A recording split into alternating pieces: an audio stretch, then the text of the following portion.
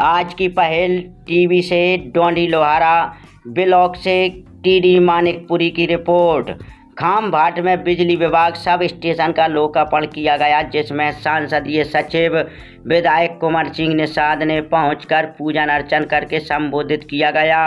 बार बार voltage से आम जनता परेशान होती थी, जिससे मुख्यमंत्री भूपेश बघेल जेबलतरा में आकर घोषणा किया गया था, जो सब स्टेशन नवनिर्मित हो गया है। लो वोल्टेज की समस्या नहीं रहेगी। किसान भाइयों को भी सिंचाई करने में किसी प्रकार से समस्या नहीं होगी।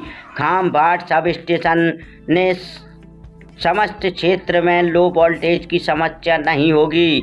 मुख्य अतिथि सांसदीय सचिव विधायक कुमार सिंह निषाद कोटू दिल्ली बार जागृत सोनकर मरकाम सहायक कनिष्ठ अभियंता ध्रुव अंजलि ठाकुर व मुख्य पालन कनिष्ठ अभियंता सरपंच गण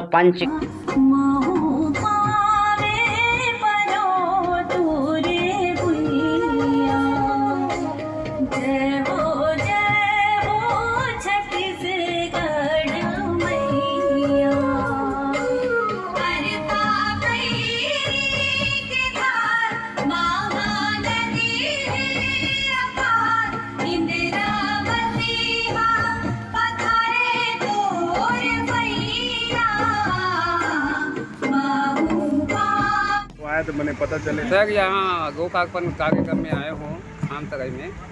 तो विद्युत के बारे में जो जानकारी दिया है उसके बारे में जानकारी आज ग्राम खाम भाट में सब स्टेशन के लोकार्पण हुई।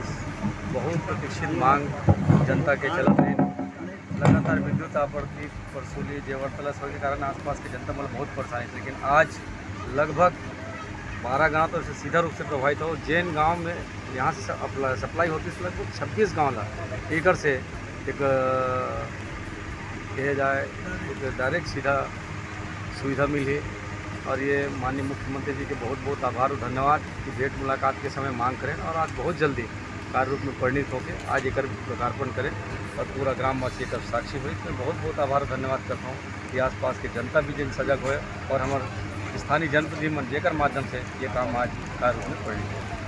अपना परिचय बताते हुए आज जो खाम तरह में जो सब स्टेशन खुले हो, किसान के हित के बारे में, उसके बारे में जानकारी दी। जी, मैं मधुकर जामुलकर चीफ इंजीनियर दुर्ग क्षेत्र खाम बाट जो है, माननीय मुख्यमंत्री जी, जब भेंट मुलाकात करने खाम बाट आए थे, तब उन्होंने अपने कुछ भाषण ये किया था। कि खाम बाट में लो वोल्टेज का प्रॉब्लम है। उस समय हमने संज्ञान में लेते हुए तैंतीस upon eleven K V substations जो कि यहाँ की वाजिब समस्या थी, उसका सर्वे करवा के बहुत ही कम समय में तैंतीस upon eleven K V substations का हमने आज लोकार्पण किया है, जो हमारी प्रोजेक्ट टीम वेंडम टीम दोनों मिलकर यहाँ के जो लो वोल्टेज का प्रॉब्लम है, उसको निजात दिलाया। फाइव एम ट्रांसफार्मर तीन करोड़ से ऊपर की लागत से बना।